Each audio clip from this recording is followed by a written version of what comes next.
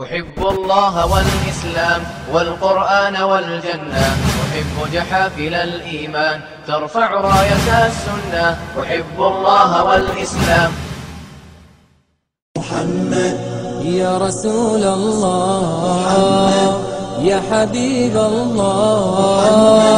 يا رسول الله. يا حبيب الله. يا نبي الله محمد. يا رسول الله. محمد. يا حبيب الله محمد. يا رسول الله يا حبيب الله يا نبي الله محمد يا سيدي واللي عجز معك معذور صار ما يعرج للافلاك وتزار صرت مبرورا ومن الذنب مغفور Alles Lob gebührt Allah, dem Herrn aller Welten, und ich bezeuge, dass niemand mit Recht und Wahrheit angebetet werden darf, außer Allah, der Allmächtige. Und ich bezeuge, dass Muhammad sallallahu alaihi wa ala alihi wa sahbihi wa sallam sein Diener und Gesandter ist. Liebe Geschwister, an diesem gesegneten Freitag möchten wir inshallah ta'ala über ein sehr, sehr wichtiges Thema sprechen. Und ich bitte euch, dass ihr mir heute eure Ohren und vor allen Dingen eure Herzen leiht, auf dass die Worte, die wir sprechen, in die Herzen eindringen und wir uns ab jetzt zum Besseren ändern. Möge Allah Azza wa Jal uns auf einem geraden Weg in der Religion befestigen. At-Tamassuk bis Sunnah, das Festhalten an der Sunnah. Und was ist der Lohn dafür, wenn wir an der Sunnah des Propheten Muhammad sallallahu alaihi wasallam richtig festhalten, liebe Geschwister? Ein gewaltiges Thema. Und viele Menschen, sie vernachlässigen dieses Thema. Wann immer auch ein Muslim in der heutigen Zeit hört, diese Sache ist Sunnah, dann denkt er, es handelt sich hier lediglich um eine beliebte Tat. Eine Tat, wenn du sie tust, gut und wenn du sie lässt, dann ist das nicht weiter schlimm. Deswegen lasst uns heute näher beleuchten, wie wir dieses Thema richtig nach Kitab und Sunnah, nach Koran und Sunnah zu verstehen haben, liebe Geschwister. Die Sunnah erstmal ist definiert worden. Und die Sunnah, so sagen die Fuqaha, ما نقل عن النبي صلى الله عليه وسلم من قول أو فعل أو تقرير. das ist alles, was über den Propheten sallallahu alaihi wasallam von Worten, von Taten und von seinen Beschlüssen an uns gelangt ist. Alles, was wir berichtet bekommen haben vom Propheten Muhammad sallallahu alaihi wasallam, von seinen Worten, von seinen Taten und von seinen Beschlüssen, dies alles ist Sunnah, liebe Geschwister. Ist die gesamte Sunnah zu befolgen? Die Gelehrten teilen die Sunnah in zwei Kategorien. Einmal in Sunnah al-Ada und in Sunnah al-Ibada. Die Sunnah al-Ada, liebe Geschwister, ist die Sunnah der Gewohnheit. Das ist, was der Prophet Muhammad sallallahu alaihi wasallam im alltäglichen Leben gemacht hat. Er hat gegessen, er hat getrunken, er hat geschlafen, er hat sich angezogen. Das ist die Sunnah al-Ada. Dieses ist nicht Pflicht zu befolgen, es sei denn, es gibt innerhalb dieser Kategorie ein religiöses Urteil. Die Sunnah al-Ada sind die Sunnah der Gewohnheiten. Der Prophet Muhammad hat gegessen. Du darfst essen, was du willst, außer das, was dir verboten ist. Du darfst trinken, was du willst, außer was dir verboten wurde. Du darfst anziehen, was du willst, außer von dem, was die Sunna herausgenommen hat. Das ist alles die Sunna al-Ada, liebe Geschwister. Der Prophet Muhammad sallallahu alaihi wasallam in seiner Zeit, und das war von Taqalid al-Arab, von den Gewohnheiten der Araber, dass sie eine Imama getragen haben, dass sie eine Kopfbedeckung getragen haben. Das heißt nicht, dass das Religion ist. Der Prophet Muhammad sallam hat es so gemacht, weil dieses gängig war in dieser Zeit. Oder der Prophet Muhammad sallallahu alaihi wasallam, er hatte manchmal lange Haare. Das hat kein religiöses Urteil, liebe Geschwister, dass er lange Haare gehabt hat. Nein, das gehörte ebenfalls zu den Adat al-Arab, zu den Gewohnheiten, zu den Geflogenheiten der Araber. Deswegen ist dieses kein religiöses Urteil. Wenn wir über eine Sunna al-Ada sprechen, dann reden wir darüber, dass du diese Sunna nicht befolgen musst. Und dann gibt es die Sunna al-Ibadah. Hier darfst du nichts tun, außer mit einem Beweis, wie Allah Azza wa Jal uns sagt, قُلْ هَاتُوا بُرْهَانَكُمْ إِن كُنْتُمْ صَادِقِينَ Gebt euren Beweis, wenn ihr wahrhaftig seid. Die Sunna al-Ibadah, so hat der Prophet Muhammad sallallahu alaihi wasallam uns sehr wohl Dinge gesagt, die wir einhalten müssen. Ja, liebe Geschwister, ihr solltet wissen, der Prophet Muhammad sallallahu alaihi wasallam, er darf befehlen. Und wenn der Prophet Muhammad sallallahu alaihi wasallam eine Sache befohlen hat, dann ist es so, als ob Allah die Sache befohlen hat. Denn Allah subhanahu wa ta'ala sagt über diesen edlen Gesandten, وَمَا يَنْتِقُ عَنِ الْهَوَى إِنْ هُوَ إِلَّا وَحْيٌ يُوحَى Er spricht nicht aus Begierde, sondern das, was er sagt, ist eine Offenbarung von seinem Herrn. Wer denkt, dass der Prophet Muhammad sallallahu alaihi wasallam nach Lust und Laune in der Religion Allahs azza wa geredet hat, der hat sich wahrlich geirrt, liebe Geschwister. Allah subhanahu wa ta'ala hat dem Gesandten sallallahu alaihi wasallam offenbart und dieser hat uns diese Offenbarung mitgeteilt und von der Sunna gibt es Urteile, die sind Pflicht, genauso Pflicht wie die religiösen Urteile im Koran, liebe Geschwister. Und du darfst dir nicht sagen, die Sunna interessiert mich nicht. Mich interessiert nur das, was im Koran steht, wie es heute einige Leute gibt. Sie heißen Al-Quraniyun, das sind irregegangene, liebe Geschwister, und die Gelehrten nennen sie Lügner, denn sie sagen, für uns ist nur der Koran maßgeblich. Allahu Akbar. Und das ist eine gewaltige Aussage, die sie tun. Derjenige, der die Sunna verkennt, der die Sunna ablehnt, er ist ein Kafir mit Ijma' aller Gelehrten. A'udhu billah, dass du als Lügner behauptest, du glaubst an Allah, an dem Buche Allahs, wo Allah im Koran den Gesandten sallallahu alaihi wasallam erwähnt hat hat Allah Azza wa Jal nicht uns in über 30 Ayat im Koran gesagt, derjenige, der Allah und seinen Gesandten gehorcht.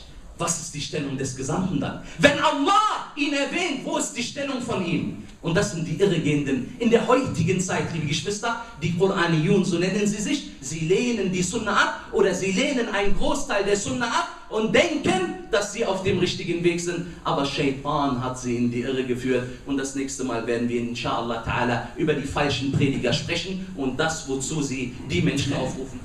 Liebe Geschwister, Sunna al-Ibadah und Sunna al-Ada. Das müssen wir erstmal verstehen, damit wir wissen, an welcher Sunna wir festzuhalten haben. Und das ist wahrlich ein gewaltiges Thema. Allah Azza wa Jal, er hat uns eine maßgebliche Ayah im Koran gesagt. لَقَدْ كَانَ لَكُمْ فِي رَسُولِ اللَّهِ أُسْوَةٌ حَسَنَةٌ Im Gesandten Allahs ist euch ein vortreffliches Vorbild gegeben worden. Ein schönes Vorbild gegeben worden ist das jetzt einfach eine Eier, die wir so lesen und nichts weiter tun? Allah sagt weiter, liman kana yarjullaha wal yawmal akhir. Derjenige, der die Begegnung mit Allah Azza wa erhofft und den jüngsten Tag. Das ist der Grund, wenn du dir den Gesandten sallallahu alaihi wasallam zum Vorbild nimmst in allen Dingen, dann gehörst du zu denjenigen, die eine gute Begegnung mit Allah Azza wa Jal haben werden. Möge Allah Azza wa Jal uns an diesem Tag nicht bestrafen. Das ist sehr, sehr wichtig, liebe Geschwister. Und viele Leute denken, dass die Sunna unwichtig ist. Wo Allah Azza wa Jal uns so eine gewaltige Eier sagt und im Gesandten Allahs ist euch ein schönes Vorbild gegeben worden. Wer ist besser als der Gesandte Allahs? Und ich stelle dir diese Frage, lieber Bruder und liebe Schwester. Nenn mir eine Person unter der Sonne Allahs, die besser ist als der Gesandte Allahs. Wallahi, wenn du eine Person nennst, dann bist du der Irregendste auf dieser ganzen Welt. Der Prophet Muhammad sallallahu alaihi wasallam sagt in einer Überlieferung bei Imam Muslim, ich bin der Führer aller Menschen. Der Führer aller Menschen. Und in einer anderen Überlieferung sagte der Prophet Muhammad sallallahu alaihi wasallam, kuntu imamun nabiyyin. Er ist der Führer aller Propheten. Wer ist besser als er, befolgt zu werden? Frage dich, wen folgst du? Wer ist dein Vorbild? Al Pacino?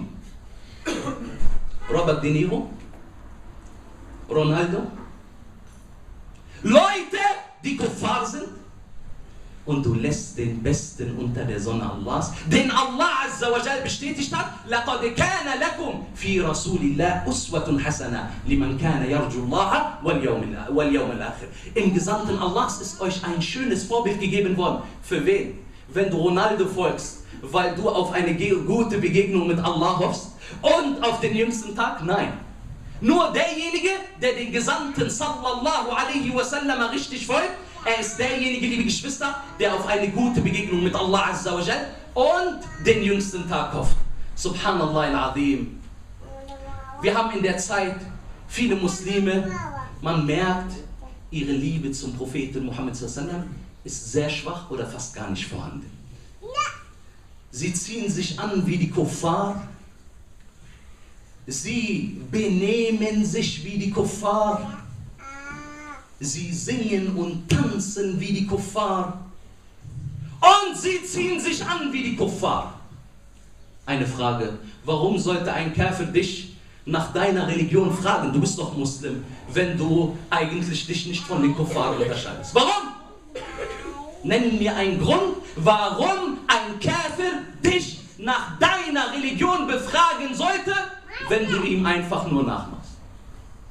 Warum? Er sagt, was soll ich ihn fragen? Ich bin eigentlich ein besserer Mensch als er. Subhanallah al-Adim, ist das der Islam? Womit identifizierst du dich, lieber Bruder? Du sagst doch sehr stolz, ich bin Muslim. Was bedeutet Islam? Dass du einfach dich mit diesem Wort betitelst und das war's? Nein. Wenn Allah Azza wa Jal dich ein Muslim nennt, dann weil du als Muslim zu leben hast. Und das heißt, dass du äußerlich und innerlich wie ein Muslim lebst. Wo ist deine wahre Befolgung, lieber Diener Allahs? Ist sie da? Die Kuffar haben eine Religion und wir haben eine Religion. Warum schämst du dich für deine Religion? Du sagst mir, ich schäme mich nicht für meine Religion, dann habe ich eine Frage, warum benimmst du dich nicht wie ein Muslim und ziehst dich an wie ein Muslim und siehst aus wie ein Muslim und verhältst dich wie ein Muslim, wenn du dich nicht für den Islam schämst? Es ist nur eine Antwort da, du schämst dich für den Islam, es gibt keine andere Antwort. Ich bin der Führer aller Menschen, sagt der Prophet Muhammad. Wer ist ein besserer Führer als er? Wer ist besser als der Gesandte Allahs? Nenn mir eine Person. Und wehe dir, dass du eine andere Person nennst als den Propheten Muhammad. Heutzutage gibt es Muslime, der sieht einen Muslim, der nach der Sunna aussieht. Er sieht, dass er einen Bart hat. Dann sagt er zu ihm, "Äh, das ist hässlich, nimm das ab. Allahu Akbar. Ich folge dem besten Menschen der Welt. Wem folgst du? Einen Kommunisten? Ein Kommunisten, ein Käfer, wen folgst du? Liebe Geschwister, Wallahi, die Sache ist gefährlich. Denn dieser Islam ist nicht nur mit den inneren Eigenschaften gekommen, nein, auch mit den äußerlichen Eigenschaften. Und heutzutage, wenn die Leute das Wort Sunna hören, dann wiegen sie mit ihrem Verstand ab, ob sie dieser Sunna folgen wollen oder nicht. Du sagst ihm, Achil Karim, Warum lässt du dir kein Bart wachsen? Du bist doch ein Muslim.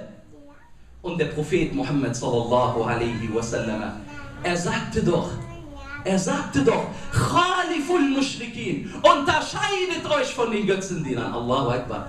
Inwiefern hat der Prophet Muhammad sallallahu alaihi wasallam uns gesagt, wir sollen uns von den Götzendienern unterscheiden, liebe Geschwister? Er sagte. Kürzt oder trimmt euren Schnurrbart, macht ihn kurz und lasst euren Bart wachsen. Unterscheide dich von den Götzendienern. Amr, ein Befehl vom Propheten wasallam. und in einer anderen Überlieferung von den Feueranbetern. Ich denke, du möchtest weder ein Feueranbeter noch ein Götzendiener sein. Warum unterscheidest du dich nicht von diesen Leuten, die in der Irre sind und die Brennstoff des Höllenfeuers sein werden? Was ist los mit dir, lieber Bruder und liebe Schwester? Subhanallah al-Azim, dieses ist ein Gebot von Allah Azza wa Jal, dass der Prophet Muhammad sallallahu alaihi wasallam uns gesagt hat, dass wir uns den Bart wachsen lassen sollen. Warum schämst du dich? In der damaligen Zeit vom Propheten Muhammad sallallahu alaihi wasallam, das war unbekannt, dass ein Mann keinen Bart hatte. Aber in der heutigen Zeit ist es umgekehrt. Heute ist es unbekannt, dass ein Mann einen Bart hat. Subhanallah al-Azim, Wallahi, schäme dich nicht für die Sunna. Schäme dich wenn du dich für Rasulullah sallallahu alaihi wasallam schämst. Dann schäme dich in der Tat. Wir sagen den Leuten, macht eure Hosen kurz. Weil der Prophet Muhammad sallallahu alaihi wasallam sagte, Ma asfal al-Ka'bayni min al-Izari.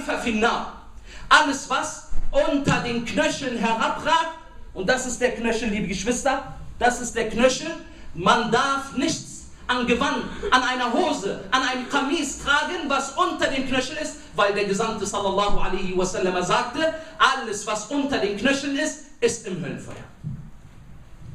Sagt man, nein, nein, nein, Abul Bara, du hast die Sache falsch verstanden. Nur wenn ich hochmütig bin, dann sage ich dir eine Überlieferung. Und Ibn al-Qayyim, rahimullah ta'ala, hat sie als Sahih gezeichnet. Und auch At-Tirmidhi selber hat sie als Sahih gezeichnet. Und Sheikh al-Albani, rahimullah ta'ala, der Prophet Muhammad sallallahu alaihi wasallam sagte, Ja Jabir, O Jabir. Und er sprach mit eines der Gefährten des Propheten Muhammad sallallahu alaihi wasallam. Iyaka wa isbal al-izar. Wehe dir, dass du dein Gewand unter den Knöcheln trägst فإنها من المخيلة denn dieses gehört zur Arroganz وإن الله لا يحب المخيلة und wahrlich Allah er liebt die Arroganz nicht und dann wo ist deine Absicht wo wurde die Absicht hier im Hadith erwähnt der Prophet Muhammad sallallahu alaihi wasallam er sagte ganz klar dieses gehört zur Arroganz dieses gehört zur Arroganz. Jetzt kannst du nicht mehr sagen, nur wenn ich arrogant bin. Und die Überlieferung mit Abu Bakr as-Siddiq dass der Prophet Muhammad sallallahu alaihi wasallam ihm reingesprochen hat, wer im Hadith richtig liest, er weiß, Abu Bakr hat niemals die Hosen unter den Knöcheln getragen. Aber heutzutage, wenn du den Leuten sagst, lass dir ein Bart wachsen, er sagt dir, wird der Islam dadurch siegen? Ja. Denn jeder, jeder, der etwas Gutes für die Religion tut und er verhält sich nach dem Islam, er ist ein Grund für den Sieg im Islam. Inna Allah la yughayyiru ma biqawmin hatta yughayyiru ma bi'anfusihim. Allah, er wird niemals die Lage von den Menschen ändern, von einem Volk ändern, bis sie das ändern, was in ihnen ist. Ist dir nicht aufgetragen worden, der Sunna zu folgen? Ja oder nein? Ist dir nicht aufgetragen worden, dass du deine Gewänder nicht unter die Knöchel trägst? Ja. Ist dir nicht aufgetragen worden, dass du mit rechts isst? Du kommst zu Leuten und sagst, Achil Karim, isst mit rechts und isst nicht mit links. Er sagt dir, ob ich mit rechts oder mit links esse, werde ich dadurch ein besserer Mensch?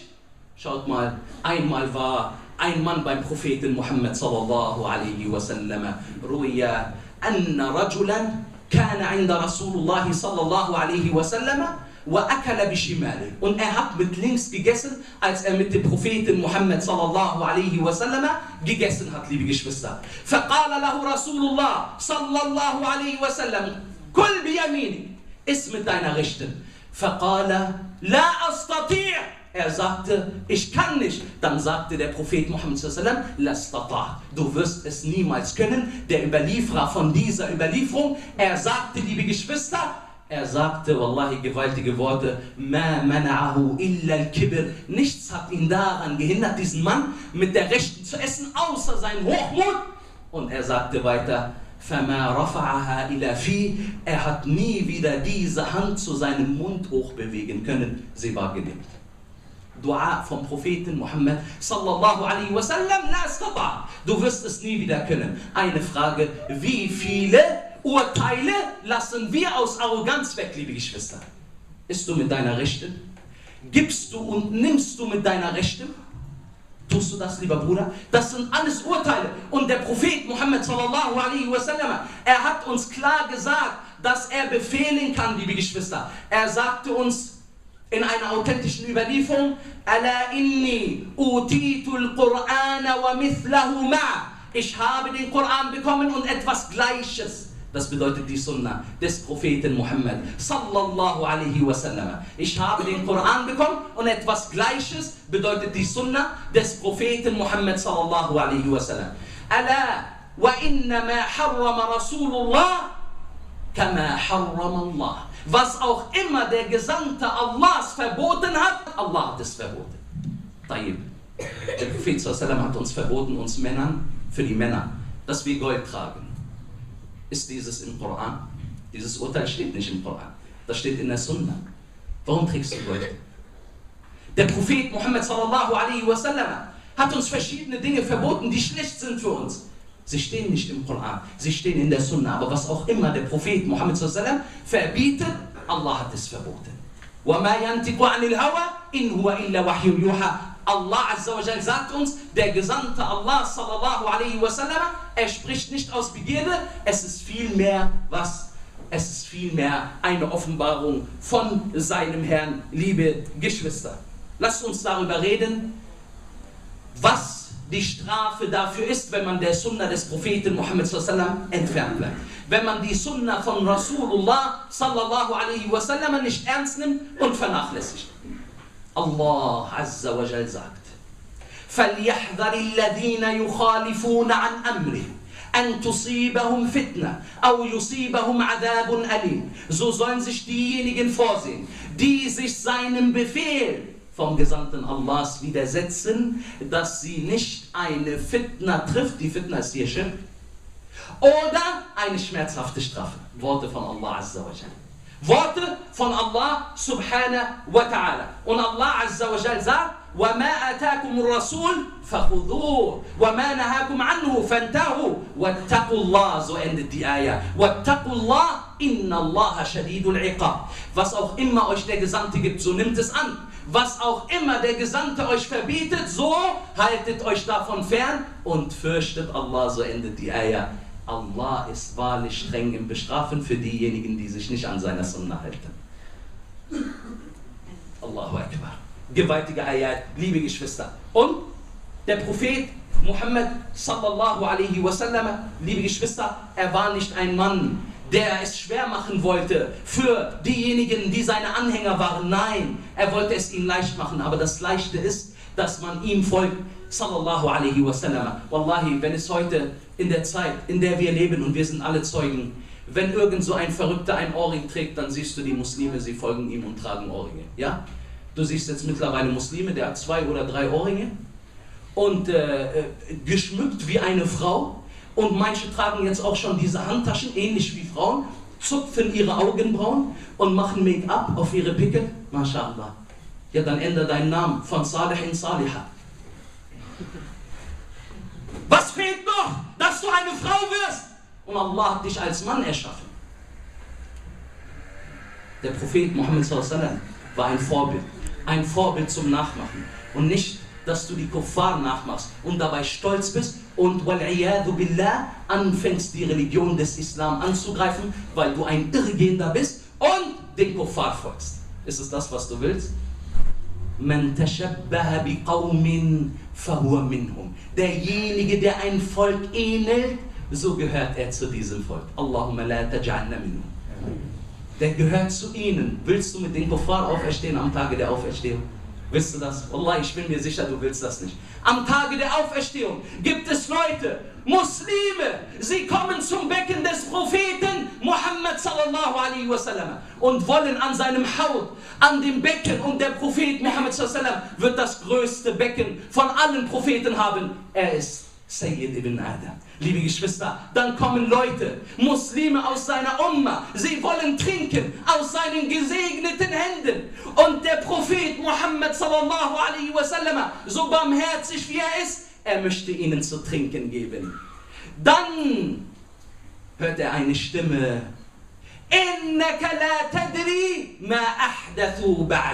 Du weißt nicht, was sie nach dir gemacht haben. Bid'a haben die Religion total geändert, haben eine neue Ideologie erschaffen, die unser Islam nicht kennt, liebe Geschwister, wie wir das sehen in der heutigen Zeit. Subhanallah adim. Diese Verrückten, die in der Türkei kämpfen, für was?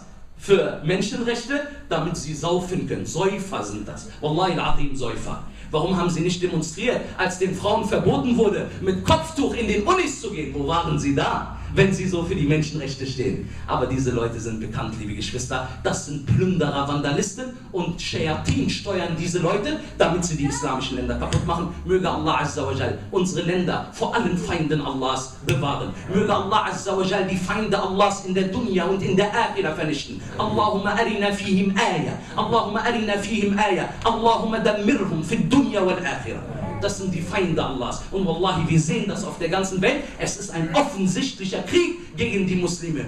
Ihr seht es alle. Wallahi, der Kampf gegen den Islam ist klar.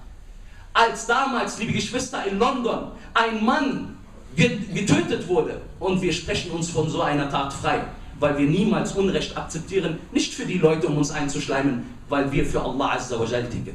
Was Allah liebt, das lieben wir und was Allah hasst, das hassen wir. Wir machen das niemals für Leute. Und wir sagen, wir sprechen uns von so einer Tat frei, Allahu Alam, auch wer dieser Typ war und wer hinter diesem Typen war. Nehmen wir mal an, es stimmt auch, wie Sie berichtet haben. Dann sagen wir, am selben Tag wurde ein 75-jähriger Muslim niedergestochen. Selbst dass die Mediziner gesagt haben, wir haben noch nie so ein gewaltiges Verbrechen gesehen, wie jemand so getötet wurde. Wo war das in den Nachrichten? Wo? Habt ihr das gesehen in den Nachrichten? Nein, er ist nur ein Muslim, einer, der billiges Blut hat. Ein ganzes Zentrum wurde niedergebrannt in London, ein islamisches Zentrum. Wo? Wo habt ihr gesehen, liebe Geschwister, dass mit diesen Leuten getrauert wurde? Wo waren die Demonstranten, die jetzt für die Türkei rauskommen? Wir sagen den Leuten, die jetzt in der Türkei sind und dort helfen, ja, von denjenigen, die hier sind. Wir sagen ihnen, es wäre schön, wenn ihr ein bisschen auf die NSU-Fälle guckt, bevor ihr in der Türkei irgendwelchen Leuten helfen wollt. Das wäre schön. Denn manche Leute sind auf dem rechten Auge blind. Möge Allah Azza uns bewahren. Liebe Geschwister, und wir wollen es schnell machen. Lasst uns hören, wie die Salaf gegenüber der Befolgung des Propheten Muhammad sallallahu alaihi wasallam war. Und wir haben gehört, es gibt eine Sunnah, wenn du dieser Sunnah folgst, Al-Ada, mit der Nia, mit der Absicht, dass du den Propheten Muhammad sallallahu alaihi wasallam befolgen möchtest, es kann sein, dass du Lohn dafür bekommst. Aber die Sunnah al-Ibadah, du wirst in jedem Fall dafür belohnt, weil der Prophet sallallahu dir das vorgelebt hat. Jetzt gibt es Leute, liebe Geschwister, er möchte, subhanallah, dem Propheten Muhammad sallallahu in allen Dingen folgen. Abu Bakr as-Siddiq, er war im Sterbebett und er war in Sakaratul Maut. Er war in den letzten Sekunden seines Lebens, er war benommen, liebe Geschwister. Aisha radiallahu anha, sie kam zu ihm und er fragte sie, mit wie viel Kaffern wurde der Prophet Muhammad sallam gewickelt? Sie hat ihm gesagt, mit drei. Er sagte, ich möchte drei Kaffern. Ich möchte ebenfalls mit dreimal umwickelt werden. Ich will dreimal umwickelt werden. Er sagte zu ihr, Aisha, wann ist der Gesandte sallallahu alaihi wasallam gestorben? Sie sagte an einem Montag. Er sagte, ich hoffe, ich sterbe auch an diesem Tag. Ja, Wallah. Leute, die dem Propheten Muhammad sallam auf Schritt und Tritt gefolgt sind. Schaut mal bis wohin. Umar ibn al-Khattab radiallahu anhu und denkt an die Leute, die die, die Sunna immer mit ihrem Verstand abwiegen. Umar ibn al-Khattab, er stand vor dem schwarzen Stein und er sprach zu dem schwarzen Stein, er sagte, Wallahi, er sagte zu dem Stein, bei Allah, inni a'lam, ich weiß, annaka hajar, dass du ein Stein bist. La tadur wa la tanfa. Weder bringst du einen Nutzen, weder schadest du noch bringst du einen Nutzen. ولولا أني رأيت النبي صلى الله عليه وسلم يقبلك ما قبلت Hätte ich den Propheten Muhammad sallam nicht dabei gesehen, wie er dich geküsst hat, so hätte ich dich niemals geküsst. Omar ibn al-Khattab, er hat nicht gefragt, warum hat der Gesandte sallallahu alaihi wasallam das gemacht, sondern er sagte, hätte ich nicht ihn dabei gesehen, hätte ich dich nicht geküsst. Aber weil ich ihn dabei gesehen habe, küsse ich dich, o oh schwarzer Stein, auch wenn ich nicht selber weiß, wo die Hekma darin liegen soll. Ittiba, die Befolgung des Propheten Muhammad sallam. Aber heutzutage, warum soll ich einen Bart tragen? 50 Fragen. Warum? Haben die Salaf gefragt? Ibn Umar radiallahu an, er sah den Propheten Muhammad sallallahu alaihi wasallam manchmal an bestimmten Stellen auf der Erde urinieren. Ibn Umar radiallahu an hat genau an diesen Stellen uriniert, wo der Prophet sallallahu uriniert hat. Einmal haben die Sahaba gesehen, dass der Gesandte sallallahu alaihi wasallam im Gebet seine Schuhe ausgezogen hat, weil Jibril alaihi salam zu ihm kam und ihm sagte, dass er Schmutz unter den Schuhen hatte, liebe Geschwister. Auf einmal zogen alle Sahaba ihre Schuhe aus. Er sagte, was ist mit euch? Was ist mit euch los? Sie sagten, wir haben dich dabei gesehen, also haben wir das gemacht. Befolgung? Wo ist deine Befolgung? Sie haben nicht danach gefragt und sie waren besser als wir, als du und ich. Wallah. Sie waren die Besten in der Generation des Propheten Muhammad sallallahu alaihi wasallam. Khairun nasi qarni, thumma alladhina yalunahum, thumma alladhina yalunahum. Die Besten sind in meiner Generation die Sahaba. Dann die, die ihnen folgen und dann die, die ihnen folgen, liebe Geschwister. Ey Wallah, das waren sie. Anas ibn Malik radiallahu an. Er saß einmal mit dem Propheten Muhammad sallam am Esstisch.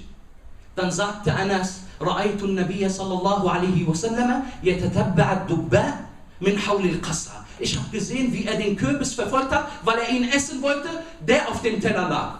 Dann sagte Anas ibn Malik an, der zu dieser Zeit kein Kürbis gegessen hat, er sagt, ma azal, ma azal, uhibbu dubba Ab diesem Tag habe ich den Kürbis geliebt und ich habe ihn nie wieder gelassen. Schau, bis welche Stufe sie dem Propheten Muhammad sallam gefolgt sind. Obwohl, ob du den Kürbis isst oder nicht, das ist keine Strafe für dich. Aber schau die Salaf-Gelehrten an, bis zu welcher Stufe sie ihnen gefolgt sind. Möge Allah Azza wa Jal uns von wahren Anhängern des Propheten sallam machen. Allahumma ja'alna min atba'i Rasul sallallahu alaihi wa sallam. أقول قولي هذا واستغفر الله لي ولكم.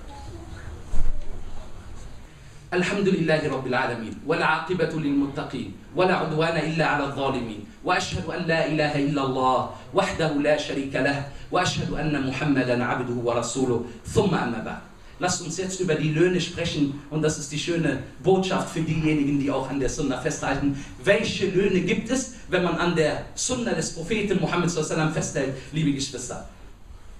Allah Azza wa Jal sagt, und das ist der erste Punkt, von den gigantischen Löhnen, wenn du der Sunna des Propheten Muhammad sallam folgst, dann wird Allah dich lieben. قل إن كنتم تحبون الله فاتبعوني Sprich, wenn ihr Allah liebt, o ihr, die ihr behauptet, Allah zu lieben, und diese Ayah wurde Ayatul Mihna genannt, die Ayah der Prüfung. Wenn ihr behauptet, Allah zu lieben, ich denke, niemand sitzt hier, der behauptet, Allah nicht zu lieben, sonst wäre er nicht hier.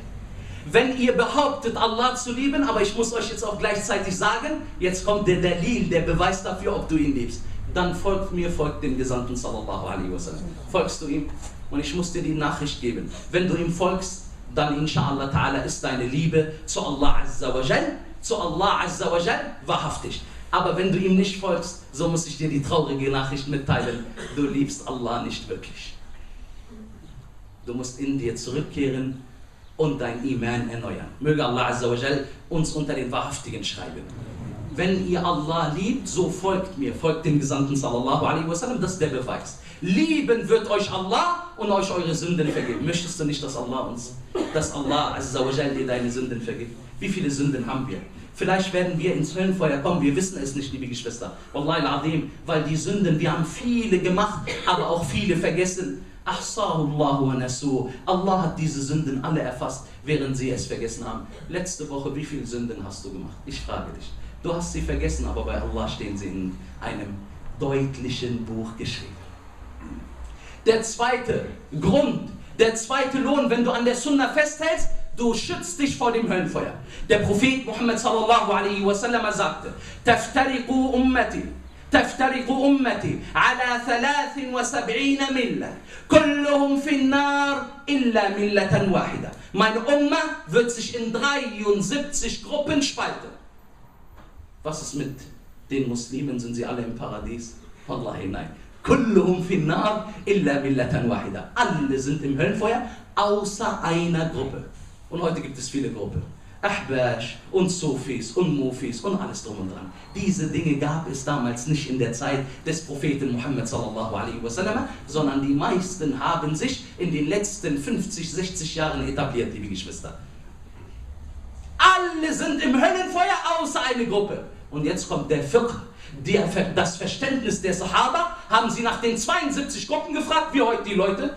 Achi, wer sind die? Achi, wer sind die? Achi, wer sind die? Frag nicht nach den Gruppierungen. Schau, was die Sahaba gefragt haben. Wa man hier, ya Rasulallah, wer ist diese Gruppe? Er sagte, ma ana alayhi wa ashabi, auf der ich und meine Gesand auf der ich und meine Gefährten sich befinden. Das war die Antwort. Frage nach der richtigen Gruppe. Lernst du das Richtige, dann wirst du das Falsche automatisch kennen. Subhanallah al-Azim. Du schützt dich vor dem Höllenfeuer, weil der Prophet sagte, so wie ich und meine Gefährten sind, in einer anderen Überlieferung, al-Yaum heute, an diesem Tag. Und was damals Religion war, ist heute Religion. Und was damals keine Religion war, ist heute auch keine Religion. Deswegen, liebe Geschwister, denkt daran, wie viele, wie viele Sekten in den letzten Jahren entstanden sind. Wallahi, sie haben keine Religion. Das sind Leute, die haben einen neuen Weg in der Religion erfunden und nichts mit der Sunna des Propheten Muhammad sallallahu alaihi wasallam zu tun. Und der Prophet Muhammad sallallahu alaihi wasallam sagte, Kullu ummati yadkhuluna al-jannah illa man aba. Meine gesamte Umma, Allahu Akbar, wird in das Paradies hereingehen. Wallahi, was für schöne Botschaften von demjenigen, der nicht aus seinen Gelüsten spricht. Meine gesamte Umma wird in das Paradies eingehen. Alle? Nein. Illa man aba. Außer derjenige, der es ablehnt, in das Paradies zu gehen. Dann haben die Sahaba sich gewundert. Sie sagten, Ja Rasulallah, wa man ya'ba. O Gesandter Allahs, wer lehnt es denn ab, in das Paradies zu gehen? Er hat uns die Definition hier gegeben. Man ata'ani dakhal al-jannah. Derjenige, der mir gehorcht, er geht in das Paradies herein. وَمَنْ عَصَانِي فَقَدْ أَبَى Derjenige, der sich mir widersetzt, er hat es abgelehnt, in das Paradies reinzugehen mit seinen eigenen Händen. Und denk an die Befehle vom Propheten Muhammad sallallahu alaihi wasallam mit dem Bart und der Hose kürzen und dass du nach der Sunna des Propheten wasallam aussiehst. Ein weiterer Lohn, liebe Geschwister, der gewaltige Lohn, den der Prophet wasallam uns versprochen hat. Er sagte, inna min waraikum ayyam as-sabr. Vor euch liegen Tage der Geduld. As-sabru fihi kaqabdin ala al-jamal. Dass man an diesen Tagen an meiner Sunna festhält, ist so, als ob man an glühend heißer Steine festhält. Und sehen, sehen wir das nicht? Wenn heute ein Muslim nach der Sunna aussieht, er hat einen Bart und er trägt lange Gewänder und so weiter und so fort. Schau mal, wie selbst die Muslime ihn angucken. Die sagen, der ist vom Mond. Und noch mehr, sie distanzieren sich für ihn, rufen die Regierung an und sagen, hier sind Extremisten, weil diese Leute der Sunna folgen. Allahu Akbar. Allahu Akbar. Sie beschuldigen die Muslime, weil sie der Sunna folgen. Vor euch liegen Tage der Geduld, sagte der Prophet Muhammad. Geduld an diesen Tagen zu zeigen, ist, als ob man an glühend heißer Kohle festhält. Und er sagte, demjenigen, der an diesen Tagen der Sunna des Propheten Muhammad sallallahu alaihi wasallam folgt, "Lil'amili fihim", Mithlu ajri khamsina rajula ist der Lohn von 50 Männern. Allahu Akbar. Dann fragte einer der Sahaba in einer anderen Überlieferung, er sagte ajru khamsina minhum, er sagte, wie 50 Männer von ihnen, von den normalen Leuten, er sagte sallallahu alaihi wasallam, ajru khamsina minkum, nein, wie 50 Männer von euch Sahaba. Allahu Akbar. Wir kommen niemals ran an die Taten der Sahaba. Niemand soll denken, dass er eine höhere Stellung am Tage der Auferstehung als die Sahaba haben wird. Aber du kannst mit der Befolgung der Sunna, obwohl du den Propheten Muhammad nicht gesehen hast, aber du handelst so, als ob du ihn gesehen hast, du kannst den Lohn von 50 Sahabi bekommen. Möchtest du? Allah hat dir das freigestellt. Oder möchtest du aussehen wie David Beckham? Dann bitte dann nimm die 50 Sünden von so einer Person, anstatt dass du die 50 Löhne von den gigantischen Gefährten nimmst. Und ich schließe ab, liebe Geschwister. Imam Malik rahmatullah alayh, er sagte bezüglich der Sunna des Propheten Muhammad sallam und er verglich sie mit der Arche von Nuh alayhi salam, mit dem Schiff von Nuh. Er sagte, man rakiba fiha naja, derjenige, der auf diesem Schiff aufsteigt, so hat er einen Erfolg erzielt. وَمَنْ تَخَلَّفَ عَنْهَا غَرِقَ und derjenige, der sich von diesem Schiff entfernt, der nicht aufsteigt auf diesem Schiff, bedeutet auf der Sunna, so wird er untergehen. Möge Allah Azza wa Jal uns am Tage der Auferstehung von den Gewinnern machen. Möge Allah Subhanahu wa Ta'ala uns nicht im Diesseits mit einem falschen Vorbild erniedrigen. Möge Allah uns in dieser Welt nicht mit einem falschen Vorbild erniedrigen. Möge Allah Azza wa Jal uns in dieser Welt nicht mit einem falschen Vorbild erniedrigen. Möge Allah uns wahrhaftige Liebe zum Propheten Muhammad sallallahu alaihi wasallam geben. أقول قولي هذا واستغفر الله لي ولكم وآخر دعوانا الحمد لله رب العالمين.